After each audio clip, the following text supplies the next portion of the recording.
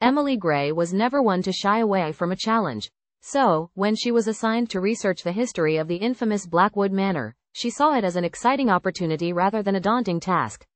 The old town of Blackwood had always been shrouded in mystery, and the decaying manor at its heart seemed to be the source of all the tales of tragedy and horror that surrounded the area.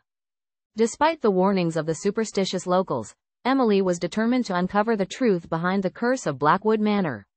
Armed with her notebooks and camera, she ventured into the dark forest that surrounded the estate, feeling a chill run down her spine as she caught her first glimpse of the imposing manor through the trees. As she stepped over the threshold of the grand front doors, Emily felt as though she had been transported back in time.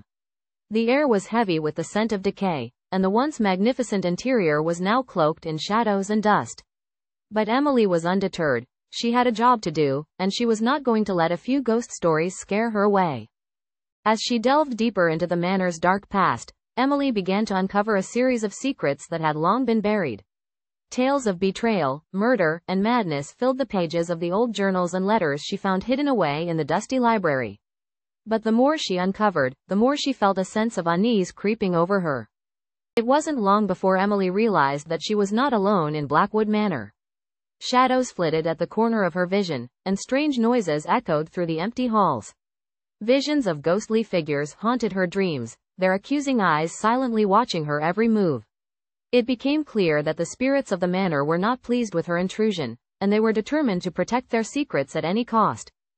As the days turned into weeks, Emily found herself consumed by the mystery of Blackwood Manor. The line between the living and the dead began to blur, and she struggled to distinguish between reality and the phantoms that seemed to be closing in on her from all sides. But she was determined to uncover the truth, even if it meant putting her own soul in jeopardy.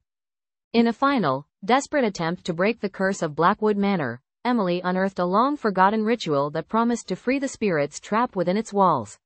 As she lit the candles and began the incantations, she could feel the energy shifting around her, the air crackling with an otherworldly power. And then, in a blinding flash of light, the curse was lifted, and Blackwood Manor fell silent once more.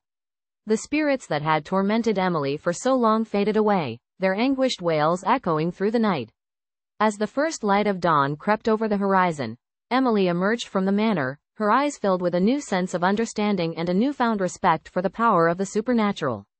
Blackwood Manor may have been haunted, but Emily had faced its darkness head on and emerged victorious.